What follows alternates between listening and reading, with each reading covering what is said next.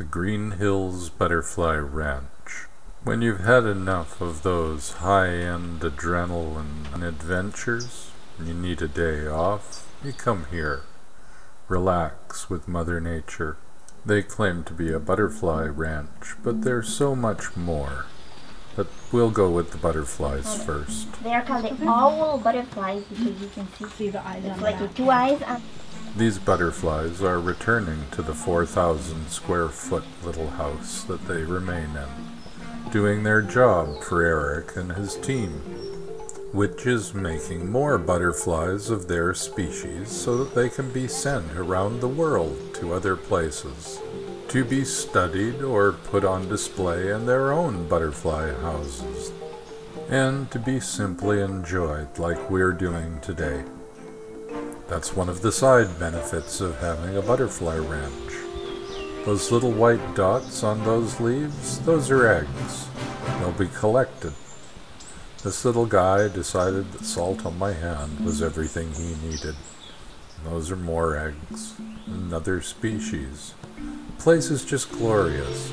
This is a glasswing. They have so few in captivity, they're kept separately. They're trying to build a population base so that they can do the same thing with them, but there's so few. They have a complete ecosystem in this little building. Butterflies are very picky. They only like certain plants to live and eat off of.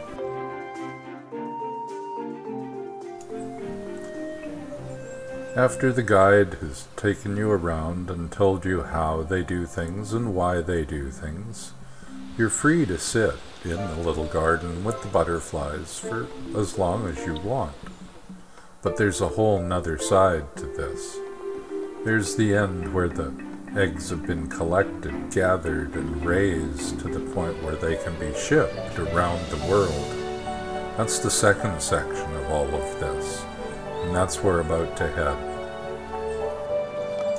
We have to go back through the butterfly lock and head outside.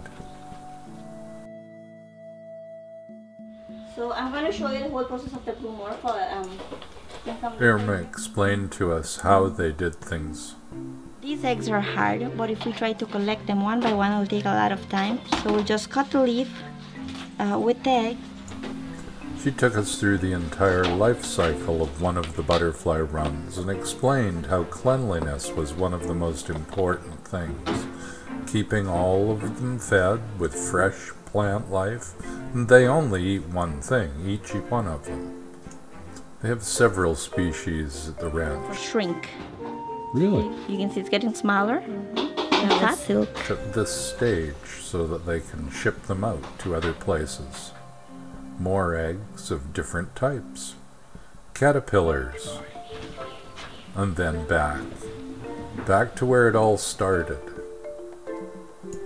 So from here you can go back to the butterfly house, or you can wander around the garden and look at all of the unusual foliage and plant life. And then there's the hummingbirds. When we were there, I think Eric said they had 14 varieties that were visiting them daily.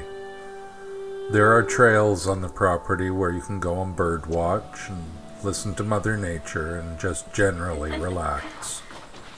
You must leave the butterflies behind when you come out. The Green Hills Butterfly Ranch. Thanks, Eric. We had a great time.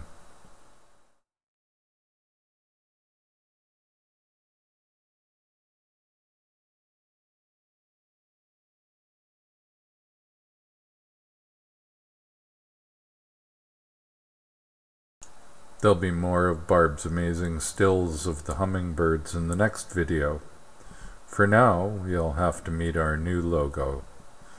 Thanks for watching. Come back, share, subscribe, enjoy.